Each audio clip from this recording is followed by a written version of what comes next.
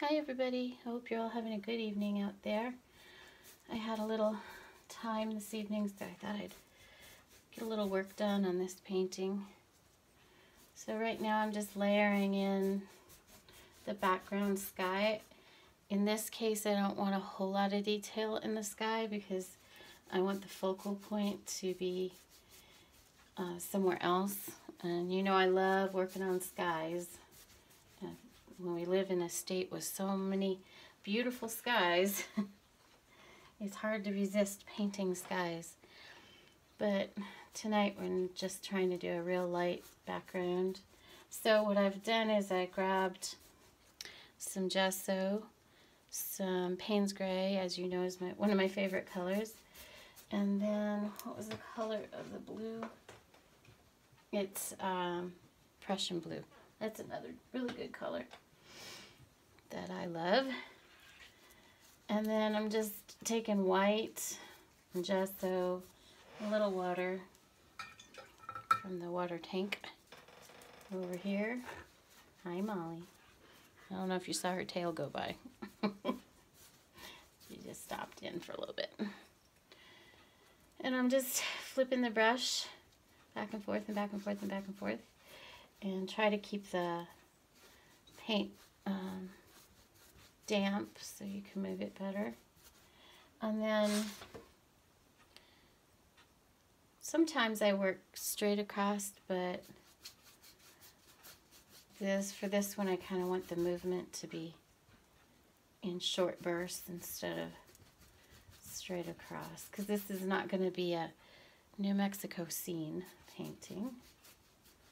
We're still having our little cold snap so I'm not working outside and I'm still not uh, planting the little plants because next week we've got evenings down into the 30s again, which is a little late for here, but it is what it is. So our little plants have to hang on just a little longer. And it's nice that I actually feel like painting. That makes me happy. I actually love doing skies. They're one of my favorite things to do.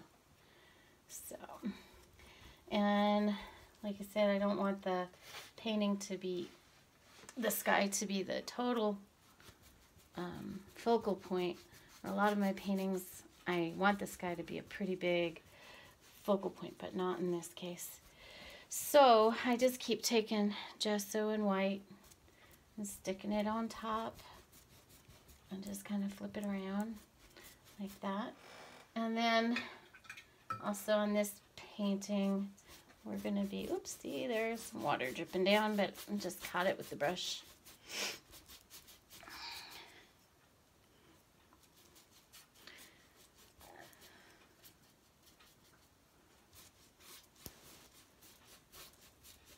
In this case, I'm not really doing any major clouds or shapes. I just want this, I want it to evoke the feeling of not super bright skies because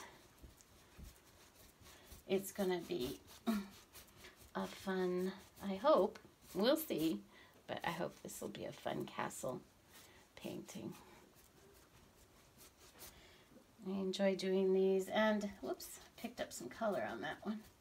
You can see me over here. Because this is for a friend but I thought you know might as well videotape part of it. I don't know if I'll videotape all of it. Just kind of depends. Sometimes the mood to paint hits and it's not a good time to video. That's one of the challenges I have doing the YouTube channel and painting because I kind of paint according to my mood depends. and sometimes I have the feeling I just want to paint, but the lighting isn't very good for the camera, so I may not videotape the whole thing, but I will at least walk you through some of the pieces. Okay. So I think we have a nice light little bit moody sky. It really does make a difference if you keep layering color or white on top of color as we do this and it really makes a big difference keeping it moving and if you're flip flop flip flop like that then you get more depth for it or at least that's what I've found in my in my experience so now it kind of looks like it's moving and now we're gonna start to layer in some mountains in the background and these mountains I want to have a little red to them um, like a red tinge. So I'm going to use burnt sienna. And I'm going to take some phthalo green with it too because I, I also need some brilliant green going on here. And this is an experiment. Everyone that I start is an experiment. So I don't always get them out in the way I want it uh, the first time. because I never really know what I'm going to be doing. So here we go. I'm going to grab some of the sienna some of the green and then I'll also grab a little bit of the blue in the gesso and kind of mix it up like that. It's almost purple. And then we're going to bring up a pretty big mountain right here. And this mountain is not going to be rocky. It's going to be very um, grassy. And it's going to get a little bigger because I want it to take up a lot more of the sky here. And the sky is still wet, which is okay. You just kind of work it. And it also works for like fading in a a mountain that you kind of want in the distance, it's better to have the sky still wet when you're doing that.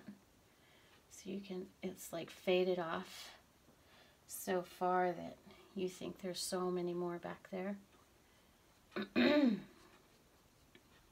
but these aren't going to be rocky, jagged mountains. They're going to be covered in a little bit of grass, some color.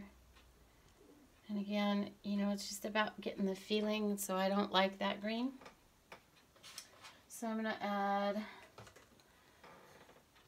a little Payne's Gray to the green because it's just too um, brilliant of a green. It doesn't have a good muted. So now I've added the phthalo green, I mean the Payne's Gray in there. And then I'm going to grab a little more color here. Anyway, that's about as far as we're going to go tonight. I'll probably work on this for a little bit. Next time I come back, you'll see it a little bit Oh, sorry. Molly says uh, Dad's home. Okay, bye guys.